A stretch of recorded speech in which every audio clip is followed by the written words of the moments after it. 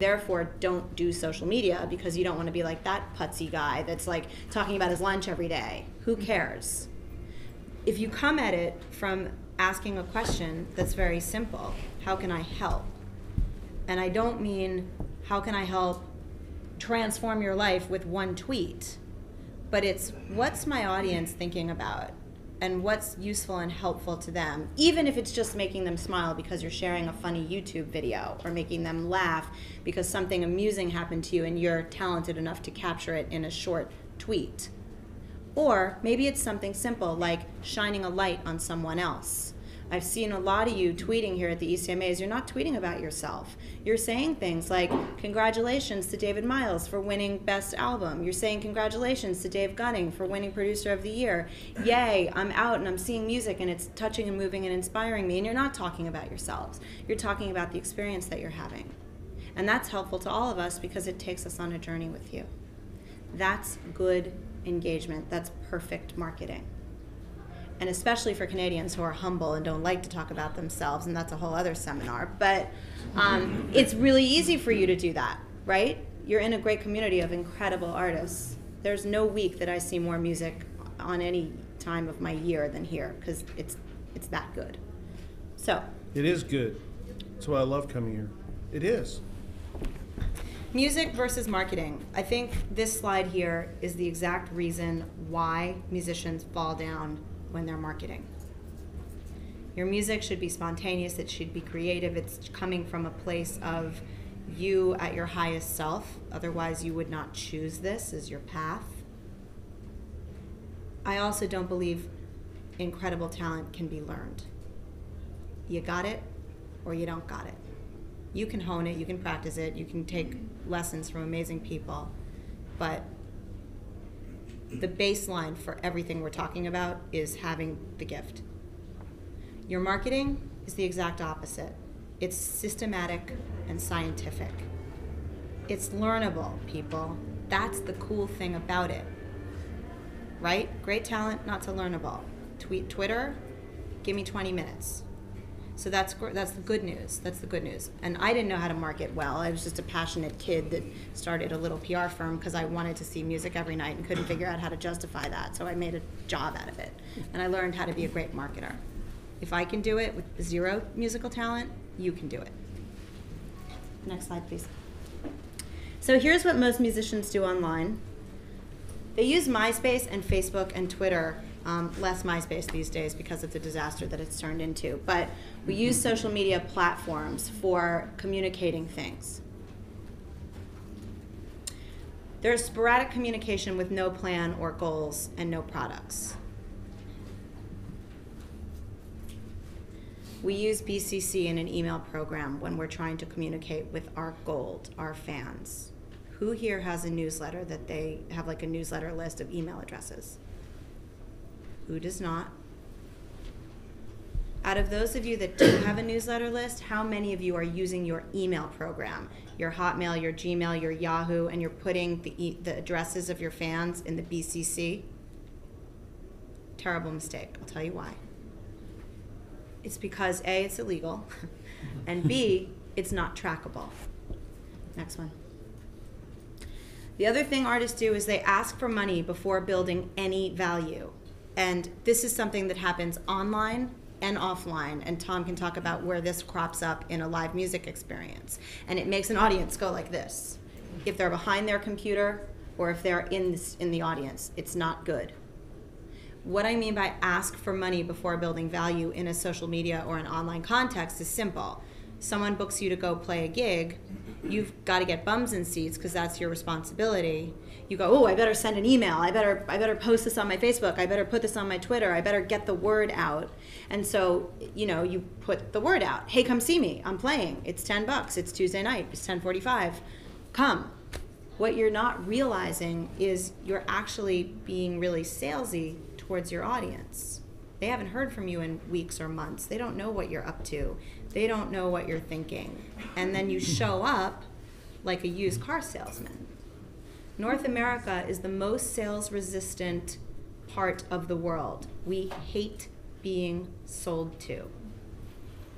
you know, you go into a store and that guy's like a little bit too overambitious with asking you if you need help, and you're like, ew, I went in there and he just tried to sell me. Yeah.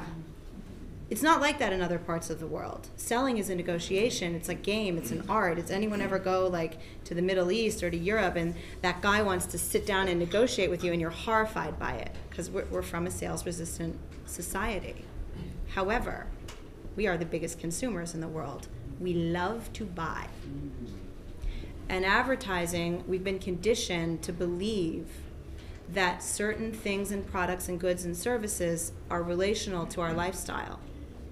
And so if that advertiser can hit you in the right spot, you'll buy. You'll buy a BMW because it makes you sexy. You'll buy a, a, a, Volvo because it makes your kids safe. You'll buy something that reflects your lifestyle because it's an expression of who you are. Next slide, if you would.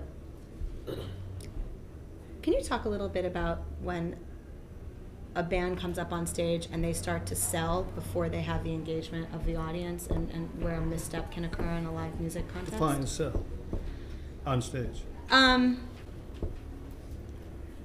Uh, Where I have a problem, honestly, and this is a great example, this event, but um, I do this everywhere. I, and I probably teach 20 workshops in a year uh, around the world. And every, everywhere you go, you guys are passing out cards, flyers, banners, posters. I'm playing here, this is playing here, this is playing here. Every, you're trying to get people out, which is cool and, and awfully. Uh, a lot of good artwork and a lot of good stuff and a lot of good stuff. But then when I go see the shows, I, don't know how to explain this. And, and you may think I'm arrogant, but they're just they're just okay. And now let me say this: the music is better than okay. That's the thing that attracts me. Because if I close my eyes, in fact, I got the new. I think I got a new reality TV show where people aren't watching the singers, and and that's the problem. You think people aren't watching you, or, or but but. 55% of communication from the stage is what the audience sees with their eyes. So, what do they see when you're standing on the stage? I'll tell you what they see. The same thing over and over, song after song. I mean, dude, you're quirky. I saw you last night. Awesome. But we need to change pressure. We need to change pressure on audience. I don't care how good. You're sitting at, we had a meal last night, and I had this awesome steak, but after seven bites of the steak, I want something else. I need to go to the potatoes. I need to go. I've got to be just as creative. I've just got. I got to be just as creative with my show now as I do with my music. And it's and you guys think by going out and just going on stage and bringing it, you're being you're being you're being spontaneous. No, you're not bringing it. You're winging it. And and you hope something works. And I'm telling you right now, every this is unless you've seen what I do. Every one of you can raise your show up at least a notch or two.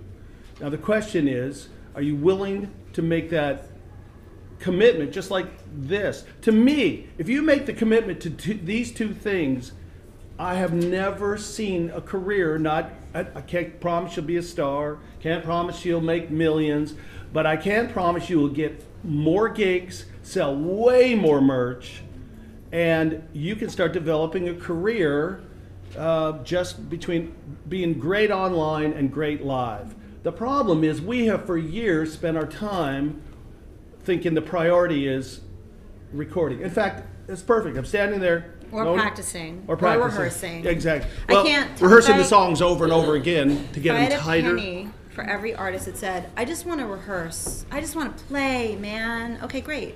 Go lock yourself in your house and play. Musical masturbation. And and I get it. Like you didn't sign up for all this stuff. You didn't. When you decided to live the dream of a musician, whether or not you have a day job, whether or not you play once a year or 300 times a year, you did not sign up for, ooh, let me make a Facebook page and then fa- friend people and oh, take photos and tweet my lunch. And this is not what you signed up for. And that's that's not fair. I don't think this any of this is fair, by the way. And I'm the Pod Piper for all this stuff. I don't love that I have to do it either to keep my business going, but my dream is to be in front of you. So I better tweet really well so that I get invited again.